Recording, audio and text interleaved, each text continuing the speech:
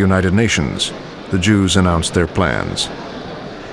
Not later than May 16th next, a provisional Jewish government will commence to function in cooperation with the representatives of the United Nations then in Palestine. The Jewish leadership sought political support abroad.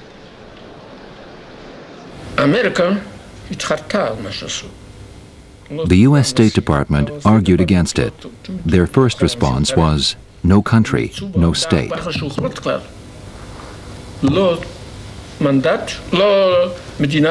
Ben Gurion sent his close colleague Moshe Sharett to convince the Americans to recognize the proposed Jewish state.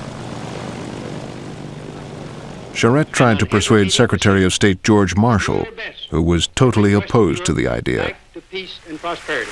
But President Truman surprised everyone with his strong support. I was told by all these so-called experts that if it was done, it would uh, involve the whole Near East in a war, and it would also involve the United States. Hitler had been murdering Jews right and left. I saw it, and I dream about it even to this day. The Jews needed some place where they could go.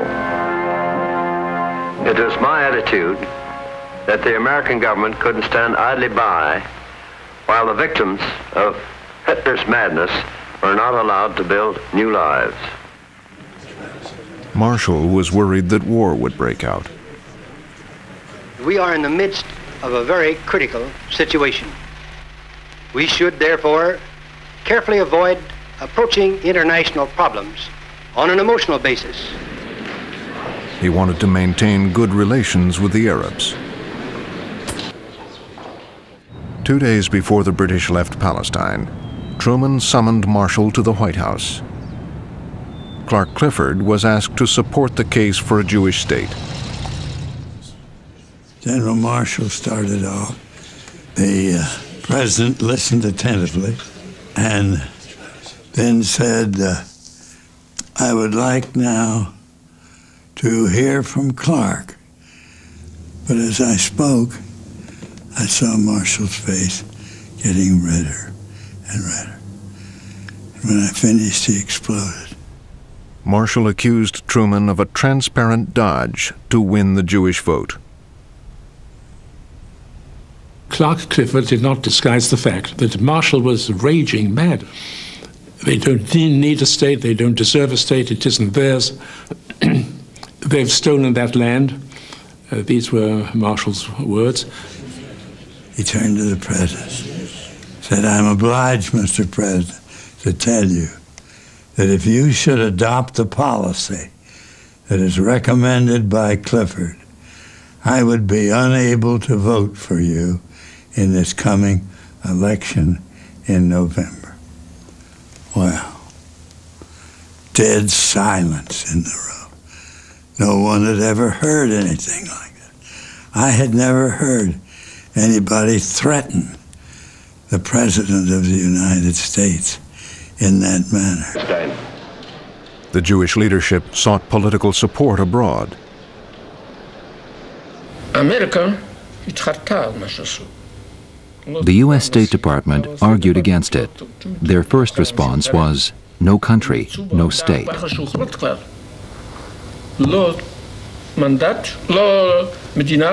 Ben Gurion sent his close colleague Moshe Sharett to convince the Americans to recognize the proposed Jewish state.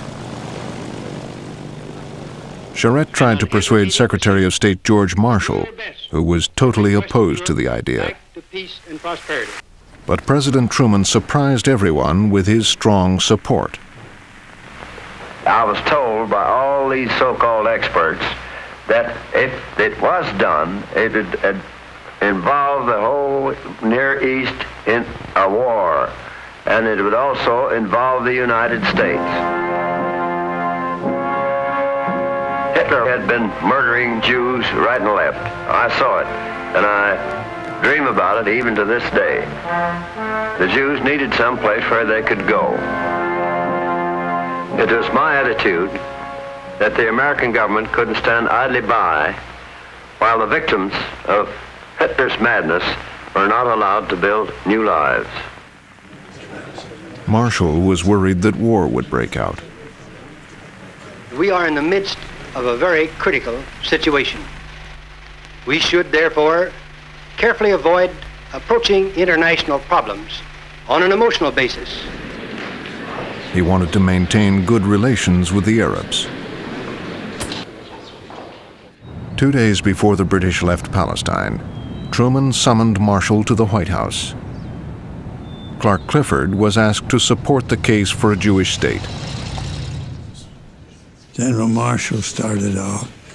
The uh, president listened attentively and then said, uh, I would like now to hear from Clark.